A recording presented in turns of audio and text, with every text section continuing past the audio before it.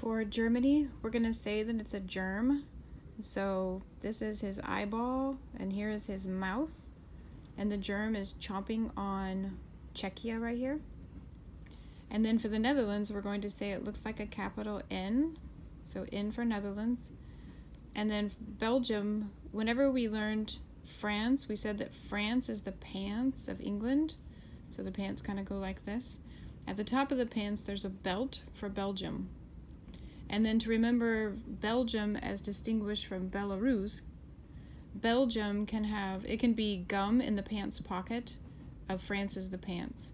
So at the top of the pants of France is a belt, and in the pocket is gum. So Belgium is at the top. For Luxembourg, because it's so small, we're going to pronounce it really high pitched and say Luxem baby, because it's so tiny. And then for Switzerland, when we learned the Matterhorn, we talked about um, Switzerland sticking out of the top of the boot of Italy, and it's the Swiss Miss stick from the cocoa, from the hot chocolate, and she's sticking her head out of the boot. And so the Swiss Miss sticks her head out of the boot, and Swiss means Switzerland.